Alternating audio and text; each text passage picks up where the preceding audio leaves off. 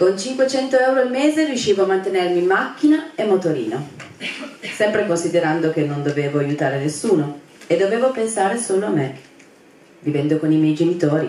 Siamo qui a presentare un libro, Giovani senza futuro, una domanda che ci poniamo come istituzione della città metropolitana. Abbiamo partecipato appunto alla eh, realizzazione di questo eh, interessante lavoro eh, perché eh, i nostri giovani devono avere un futuro, in particolare sul nostro territorio. Quindi eh, la domanda per noi eh, è importante, ma è soprattutto importante poter dare una risposta nel territorio. Senza un'analisi però specifica non è possibile di fatto fatto dare questa risposta.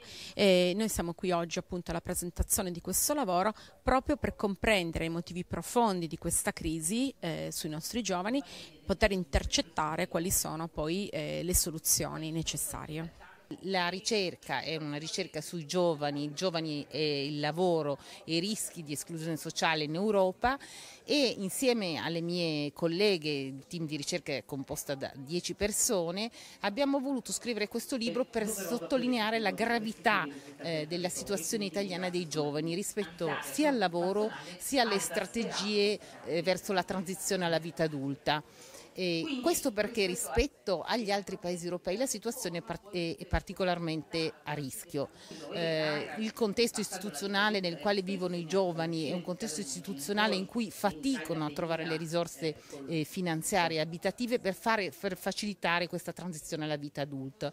Il libro vuole un po' essere un monito giovani senza futuro col punto interrogativo perché vuole essere un po' un monito per dire diamo il futuro ai nostri giovani, costruiamoli, non sono dei giovani passivi cattivi come spesso vengono eh, raccontati dalle narrazioni, dai mass media, dai politici. Sono giovani molto attivi ma che spesso hanno delle strategie di brevissimo periodo. Città metropolitana si occupa di discriminazioni eh, sotto tantissimi punti di vista, discriminazioni sul lavoro con la nostra consigliera di parità, ma anche tutte le altre forme di discriminazione e i giovani eh, hanno bisogno di un'attenzione, quindi benvengano momenti eh, informativi e formativi come questo per eh, accendere un faro su una delle discriminazioni che appunto è molto molto attuale.